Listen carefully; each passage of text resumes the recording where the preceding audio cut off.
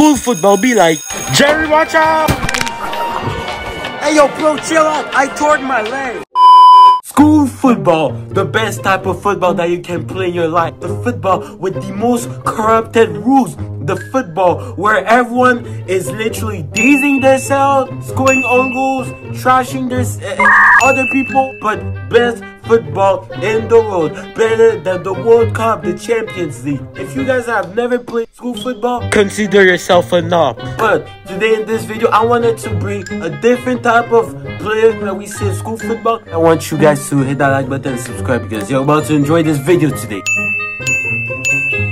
First, we gotta begin with the me and Wham, the Messi type of kid when he play football. Okay, first before I start, I gotta be honest. I play with people that are younger, but but but but but wait wait wait wait wait. I'm just having fun with if I play real football with people my age, I will still ball out. Anyways, playing football when you're the Messi type of kid is the best thing. Like, you know all these Pep Guardiola wannabes that they say pass, move, pass, move. You don't have that. You have the freedom. All you have to do is be like Busquets and you're Messi. He passes the ball to you, you just dribble pass. You just play, you dribble, you have fun. Then you also play with passes. I do play with passes, but you just there, you're balling out. Everyone is just giving the ball to you. You're the type of kid that if we have in the team, the other kids will be whining, they'll be crying, they'll be mad. Really a blessing and a win to be that type of kid when you put you Ronaldo Chop, you Croqueta, you you do the Busquets, any type of skills. I don't know, I don't have any skills in my head, but being that type of kid,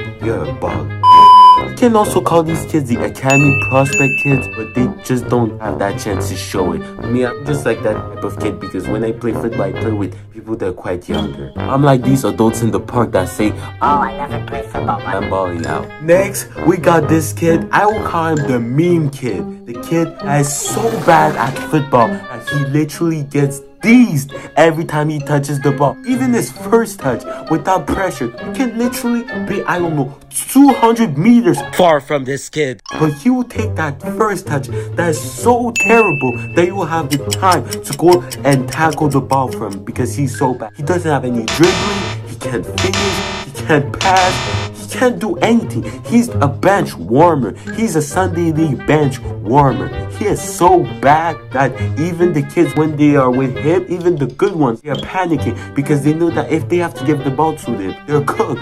They're going to take a goal because he can't control a freaking ball. This kid is the worst type of kid have in the team, but he's also the best one because he's the one funniest one. He is so bad at football that his football level is a joke. He is so funny. Football level just makes you laugh each time he plays with the ball. Next, if you mess up with this kid, just just just be ready to pay your hospital bills. Just be ready because next is the Brickstead kid, aka the Sergio Ramos kid. He is not there to joke with you. If you even try to mess up with him when you play, you end your life handicapped. You have no more legs if he plays with cleats. Well, I don't think a Brexit kid play with cleats, but the ones that do, you can't even touch him. Touch him, your legs are in the hospital. Actually, you're just finished. Your life is finished. This kid will always make sure you don't shoot. Like he will pocket you. He's not even playing football. He's playing boxing. Because some of these kids, they don't even know how to play ball. They just know how to just kick the ball away. That's all they do. They tackle you. They don't really know the rules. So they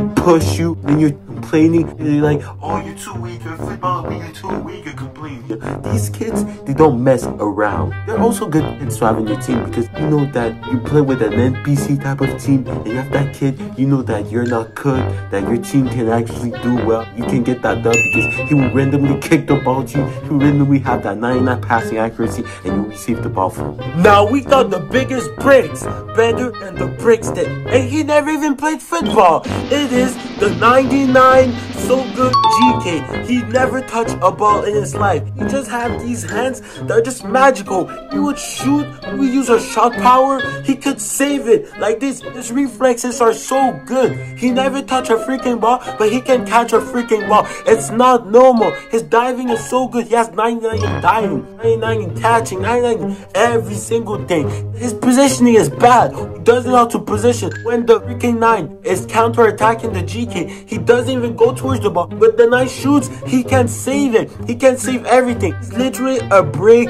of the freaking goal. Shout out to them. If these GKs were literally focused on being good GKs in football, they could have went far. These people that don't play football, they're just so good at football when it comes to GK. Uh, next, these are the most annoying kids when you play. It's the year 7 wannabe kids. Like, I understand you love Ronaldo. He made you fall in love with the game. But stop copying everything. You're not him. You're not Ronaldo. You're doing literally everything. When you try to Ronaldo try, but you don't even know how to play ball. These type of kids are the kids that only watch football, but they don't know how to play ball. They don't have the technique. When they try out skills and, uh, and they're messing out, but they still keep on trying, trying, trying. They would just lose the ball because they're so trash. The good ones, we can quite say they're the academy potential kids. But the one that can't play ball, which is like 99% of the CR7 when the bees, they don't know how to touch a freaking ball. Even when they shoot their free kick, they're having their balls acting like they're so good, but they will literally either blast that ball or the shot will be too weak.